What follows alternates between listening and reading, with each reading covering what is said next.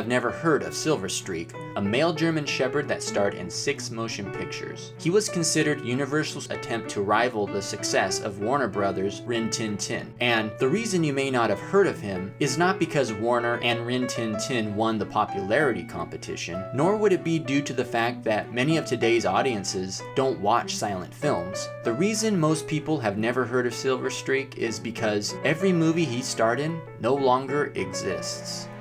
Based on a study by the Library of Congress, over 75% of silent films made between 1890 and 1930 are considered lost. One major contributing factor to this is that movies were made with highly flammable nitrate film until the early 1950s, and as a result, prints of these silent films were easily destroyed in fires, such as the 1937 Fox Vault fire.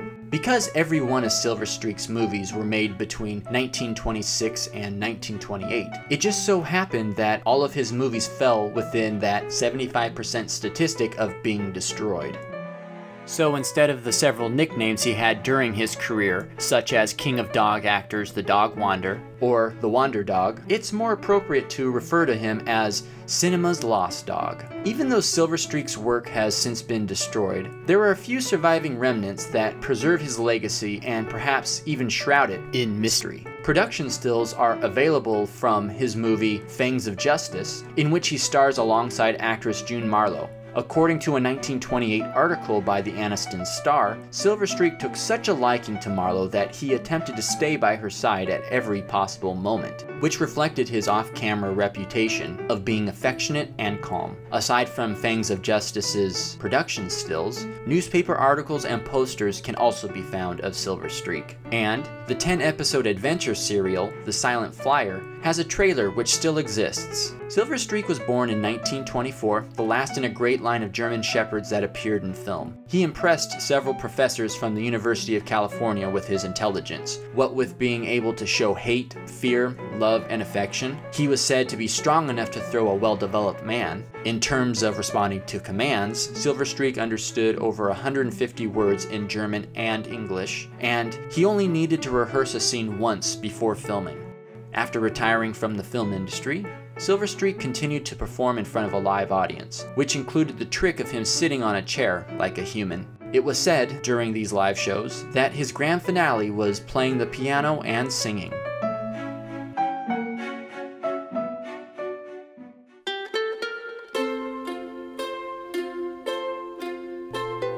Speaking of animals doing tricks in front of live audiences and also appearing in silent films, there is a short black and white documentary that exists, produced by the Edison Film Company in 1903, which depicts an elephant being executed by electrocution. This 74 second motion picture is simply called Electrocuting an Elephant, and even though this documentary and the story behind it fell into obscurity for 70 years, it's now often shown in film study classes due to its chronological significance in motion picture history, not only being one of the first movies ever made, but also, according to a 2013 book by Michael Daly, this event may have been the first time death was ever captured on film. This short film shows the death of an elephant at the unfinished Luna Park on Coney Island on January 4, 1903. The elephant was originally intended to be hanged publicly, with onlookers being charged admission. The American Society for the Prevention of Cruelty to Animals took issue with publicly hanging an elephant and trying to make a profit off of it. As a compromise of sorts, the execution would go on, but only with press and selected observers to be admitted. Also, instead of hanging the elephant, she would instead be strangled with large ropes tied to a steam-powered winch which was a surer method of a swift death. To avoid the potential of botching the strangulation, the elephant would also be fed cyanide-laced carrots, then electrocuted before the strangulation would begin. This creature was Topsy. She was born in Southeast Asia around 1875, making her way to the United States by being secretly sold and added to the herd of performing elephants at the Forepaugh's Circus, who fraudulently advertised her as the first elephant born in America. At maturity, Topsy was 10 feet high and 20 feet long. In 1902, a year before her death, the killing of spectator James Fielding Blount at the Forepaugh's Circus was the first event that brought Topsy to prominence. Despite various accounts of this event, The most common story is that Blount wandered into the tent that sheltered all of the elephants, where he would begin teasing them, such as offering them whiskey or throwing sand. After Blount threw sand in Topsy's face, he took his lit cigarette and burnt her trunk, an extremely sensitive area to elephants. In response, Topsy threw Blount to the ground with her trunk and then crushed him. Newspapers sensationalized this event by claiming that Topsy had killed up to 12 men prior to Blount, which in turn generated very large crowds to see Topsy at the circus. Topsy got even more attention the following month when, while being unloaded from a train in Kingston, a spectator used a stick to tickle her ear. With her trunk, Topsy seized him around the waist and threw him. Being too much of a liability, Forepaugh Circus decided to sell Topsy to Sea Lion Park, which would eventually be renamed Luna Park. There, Topsy was used to move timbers, a public penance for her rampaging ways which the circus owners profited from. At this time, she had a handler named William Alt, though some sources refer to him as William Whitey Alf, who would be the instigator of Topsy's continued negative public perception as a poorly behaved animal, which would ultimately be the reason for her execution.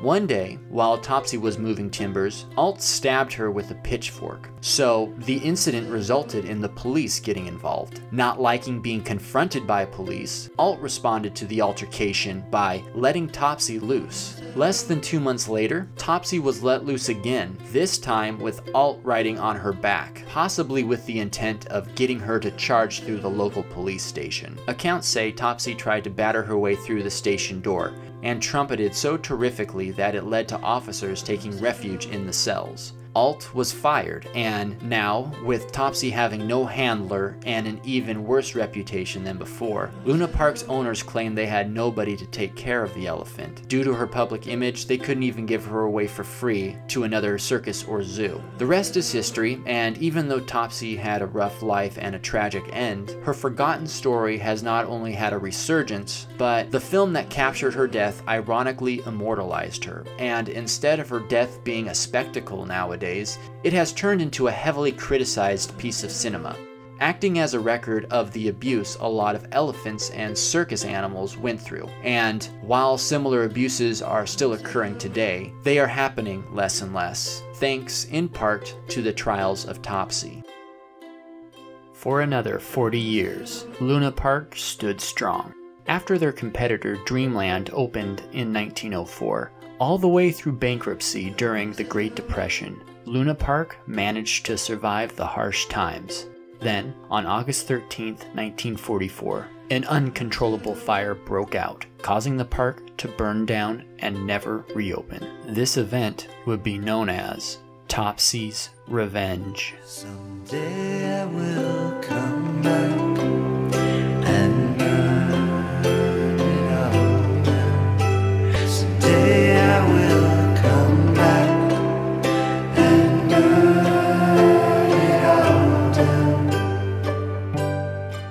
continue to the second half of this video, please make sure to like, subscribe, share, ring the bell, become a patron at my Patreon, and visit my website www.cwschultz.com where you can get to know a little more about me, my four published novels, all available at Amazon.com, my award nominated film Watch, excerpts from my upcoming fifth book, Whispering of the Autumn Leaves, and links to my short stories, such as Rooster, which was featured on the NPR recognized podcast 7 Minute Stories.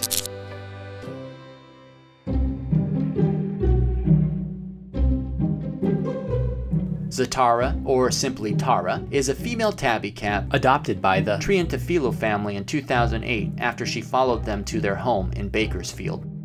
On May 13, 2014, the Triantafilo's four year old son, Jeremy, was riding his bicycle in the driveway when Scrappy, the neighborhood dog, came at the boy from behind, attacking young Jeremy by the leg and pulling him down the driveway. Then, this happened. Not only did Tara lunge at the dog, she also chased after him. When the dog ran away, Tara immediately returned to Jeremy's side. Despite needing 10 stitches, Jeremy quickly recovered, knowing that without Tara's presence, his injuries could have been much worse. The moment was recorded on household surveillance, which received 16.8 million views within 48 hours of the footage being uploaded to YouTube.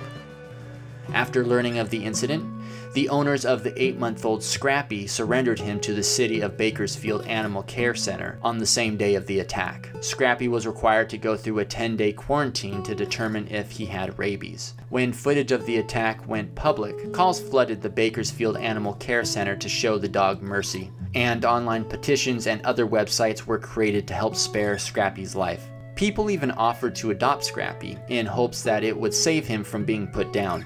Scrappy's quarantine period showed that he was a vicious and dangerous animal and therefore had to be euthanized. Despite having the support from thousands of petition signatures, some of whom were very irate about the decision to put Scrappy to sleep, much of the attention remained on Tara's heroic act.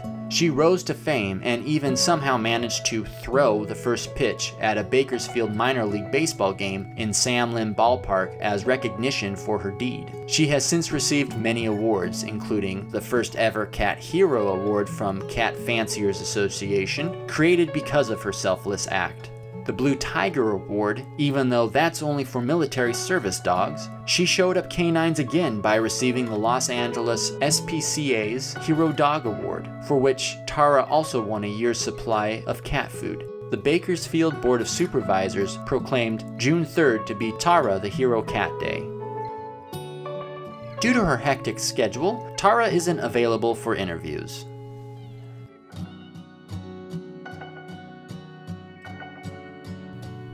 In the spring of 1942, the newly formed Anders Army left the Soviet Union for Iran, accompanied by thousands of Polish civilians who had been deported to the Soviet Union following the 1939 Soviet invasion of eastern Poland. At a railway station in Hamadan, Polish soldiers encountered a young Iranian boy who had found a bear cub whose mother had been shot by hunters. Polish soldiers were convinced by one of the refugees they were traveling with to buy the young bear. The soldiers named the bear Wojtek, which loosely translates to happy warrior. Wojtek initially had problems swallowing and was fed condensed milk from an old vodka bottle. During such a time of struggle, it was difficult to feed starving people who were consistently on the go, let alone a growing bear. In order to provide for Wojtek's rations and transportation, he was eventually enlisted as a soldier with the rank of private and was subsequently promoted to corporal. Like many of his fellow soldiers, he took a liking to drinking coffee in the mornings, as well as cigarettes, and not just smoking them, but also eating them. The lit ones, that is. If they were unlit, he'd just spit them back out. Wojtek was very affectionate, being quite the cuddler on cold nights, and also quite playful, learning how to wrestle and salute, and even did tricks for beer. After observing his fellow soldiers lifting crates, he began to copy them. During the Battle of Monte Cassino, Wojtek helped his unit to convey ammunition by carrying 100 pound crates of artillery shells, never dropping any of them. After the end of World War II, Wojtek was given to Edinburgh Zoo, where he spent the rest of his life, often visited by journalists and former Polish soldiers, some of whom tossed cigarettes for him to eat, you know, for old time's sake. Wojtek was a frequent guest on BBC Television's Blue Peter program for children. Many plaques and sculptures have been made in memory of the soldier bear. Wojtek has since been the subject of pop culture, not just with television programs, but also movies and music. Perhaps one of the most fitting examples of his legacy came when the Krakow City Council agreed to erect a statue of Wojtek, unveiling it at the 70 year anniversary of the Battle of Monte Cassino, where Wojtek helped lift crates. This, by the way, isn't Wojtek's only statue.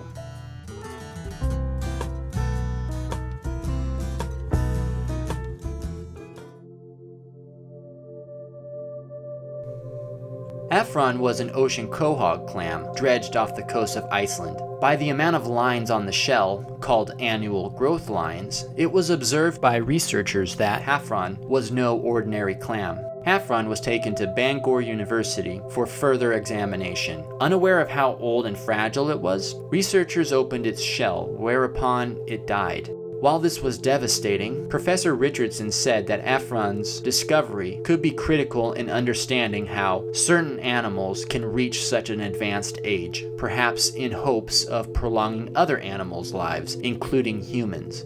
Using the aforementioned annual growth lines, researchers initially estimated Hafrún was 405 years old. Hafrún was so old that Sunday Times journalists instead referred to the clam as Ming, in reference to the Ming dynasty during which it was born.